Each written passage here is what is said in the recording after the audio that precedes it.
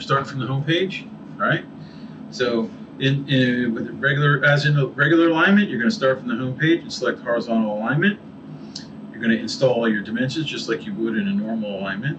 But the thing you need to most importantly is to go to the coupling selection page and select cardan shaft. There's a picture of it. It's pretty obvious, right?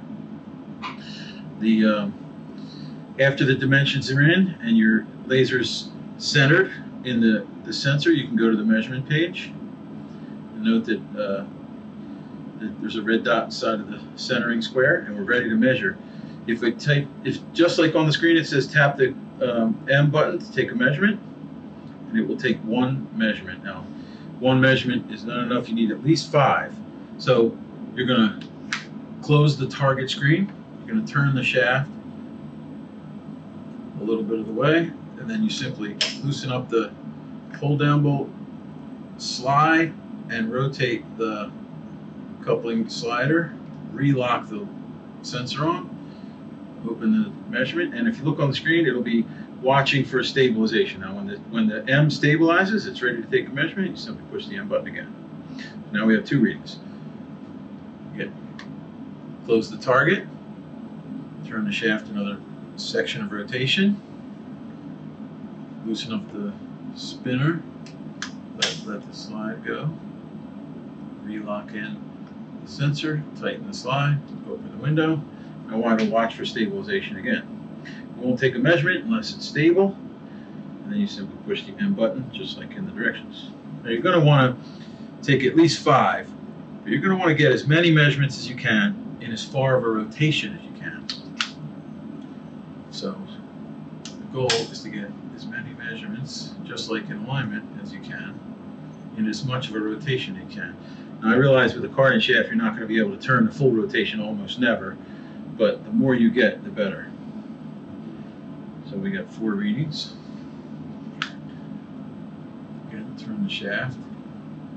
Okay, loosen up the spinner, loosen up the slide, recenter it in the target, tighten the slide, open the window, wait for it to stabilize. Select the M button for measure, and we have five readings, and results start to show up. Again, like I said, always the more measurement you can get, the better. So just like in a regular alignment, you're going to want to get as many measurements you can as possible in as much of a rotation as you can. It's more important to get more of a rotation than it is to get as many measurements because the more of the circle that it sees, the more. Now notice in the wedge around the measurement, it turned green. Green is a good measurement. We're going to, we're going to go as far as we can in one rotation.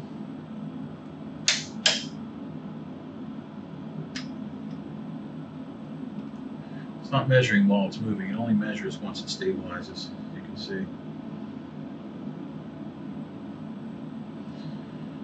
We took seven readings, okay, over a course of 161 degrees. We could probably even get one more. Let's try to do that.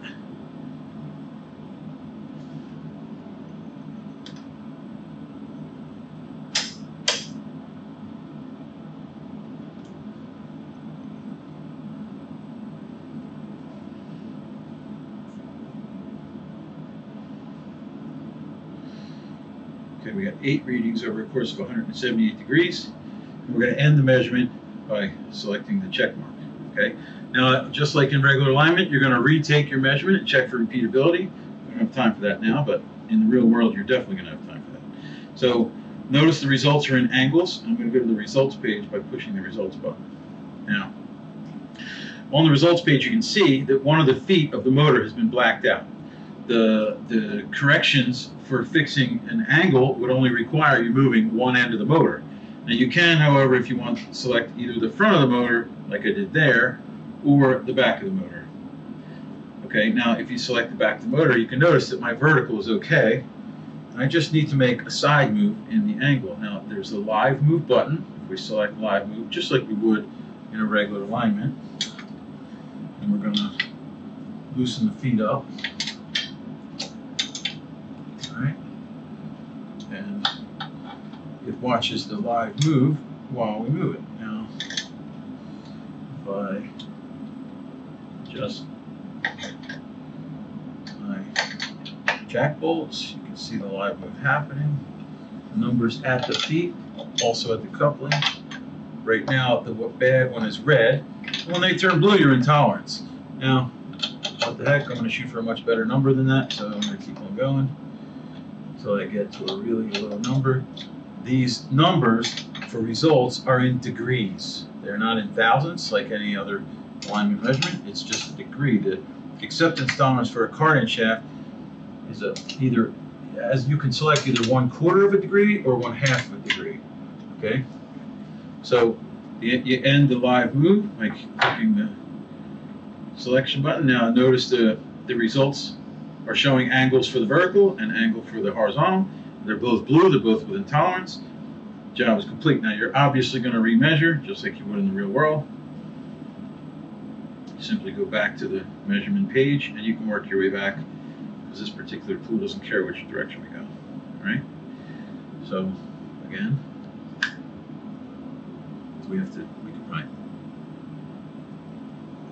get this easily.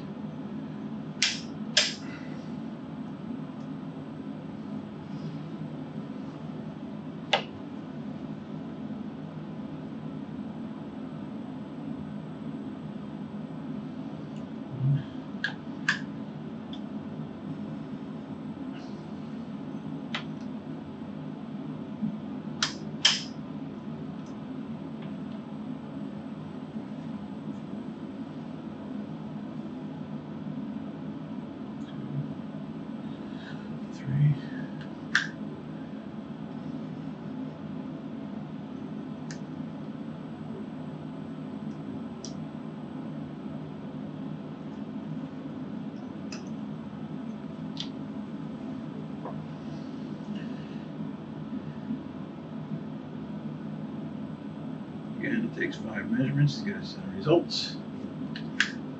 But Simple enough. It's important to know that you really need to be able to move the shaft, to take this kind of measurement. This isn't like a sliding bracket where you can take these measurements without both of the machines turning. We do have sliding brackets for other applications, but you need to be able to turn it. So we got five readings. We got a good set of readings.